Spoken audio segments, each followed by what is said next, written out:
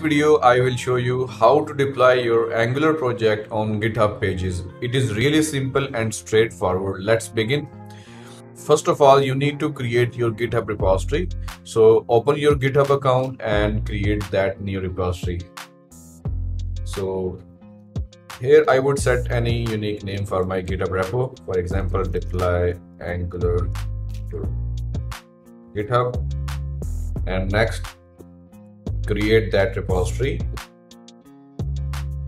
Next to go back to your Angular project and then build your Angular project. Now type the command ng build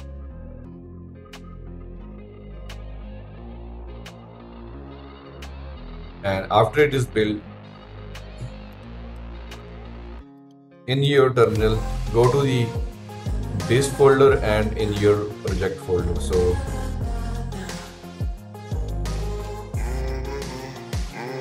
so now you are in your uh, build project folder. Now copy the github repo url and initialize the git in this folder.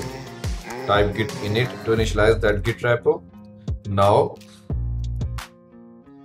you need to link this github repository with this folder. For that type git remote add origin and then the URL.